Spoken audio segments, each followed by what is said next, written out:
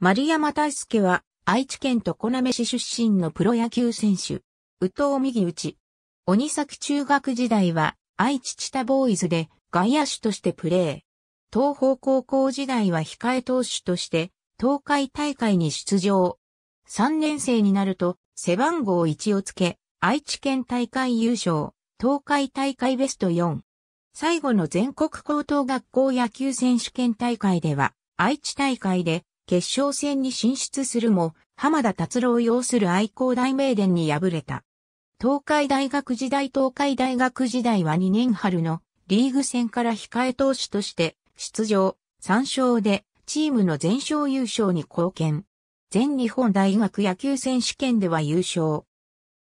3年春より先発に転向し、リーグ戦では4勝を挙げてベストナインを受賞。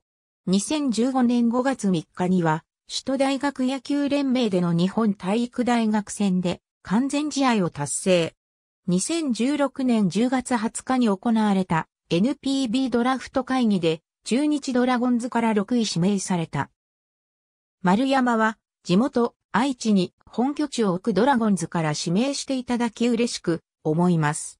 大学時代は同じ東方高校出身の横井人、輝き監督のもと、厳しい練習に取り組んできました。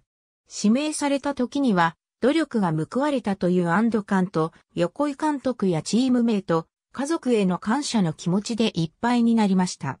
プロ野球選手として数多く登板し、いつかは日本を代表する投手になりたい、一番行きたかった球団とコメントし、東方高校の後輩である藤島武人との同期入団となった。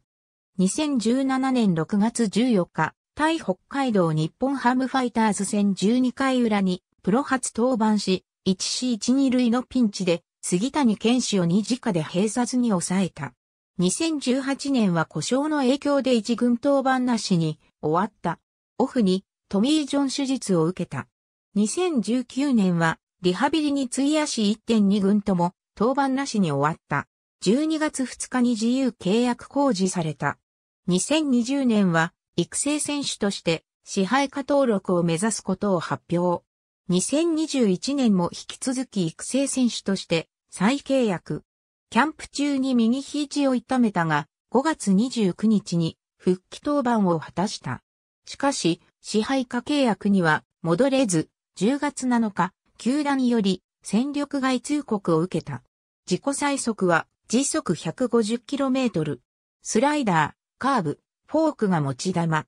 2020年9月に当時2軍投手コーチだった門倉健の勧めにより投球フォームをオーバースローからサイドスロー気味のアンダースローへと変更した。